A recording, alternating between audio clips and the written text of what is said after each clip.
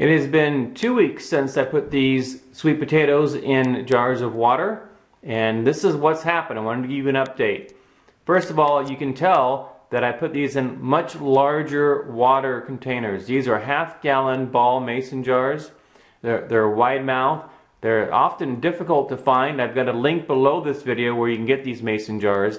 But they are great for these sweet potatoes.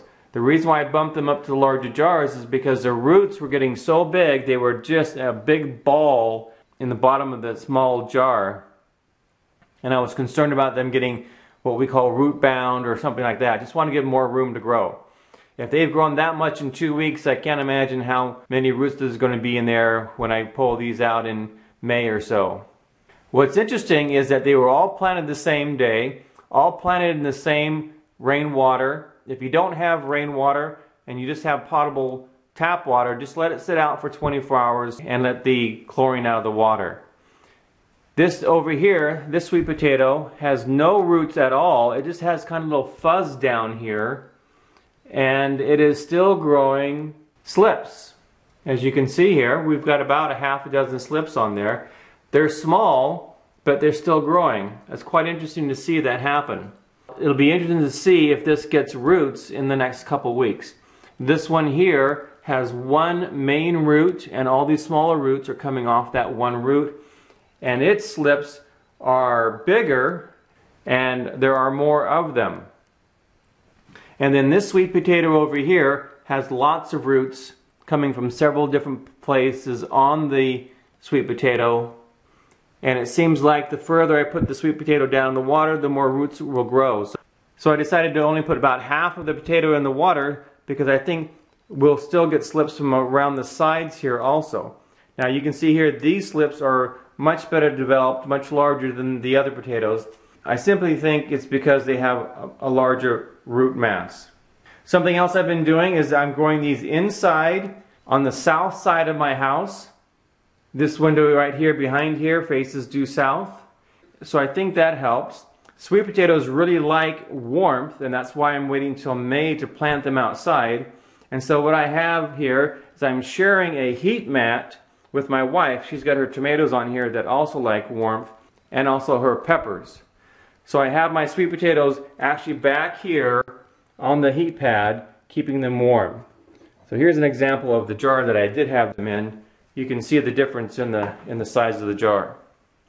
In addition to having them on the south side of the house, trying to get as much natural light as I can, having them on the heat pad, we also have these jump start grow lights inside here. And I think that's really a key to helping them grow well. So with this kind of combination of elements, I think it's really helping the potatoes grow. One thing I have had several people ask is, are these organic potatoes? Are they sprayed with something in the grocery store?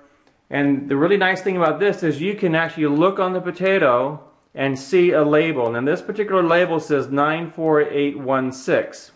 There are four different numbers that you want to be aware of.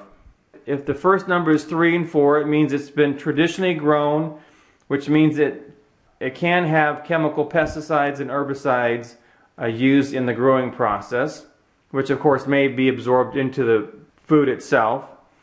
Number nine means it's organic. There are no chemical pesticides or herbicides or chemicals used in the growing of the potato or the product at all. And if there's the number eight, that means it is a GMO, genetically modified organism it has genes from other organisms mixed with the plant itself. Just remember primarily 3 and 4 is traditional. They were probably grown with chemical fertilizers, pesticides, and herbicides. 8 is GMO and 9 is organic. An easy way to remember that 8 I hate, 9 is fine. Now these smaller numbers actually mean a specific variety of the product.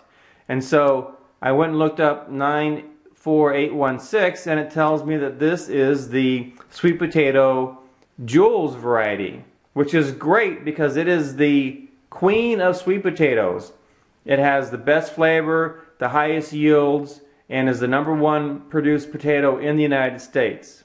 So anytime you see a label, even if you're in the grocery store, you could probably just type in the product. I just did a search for a sweet potato 94816, brought up a website and told me exactly what this potato is.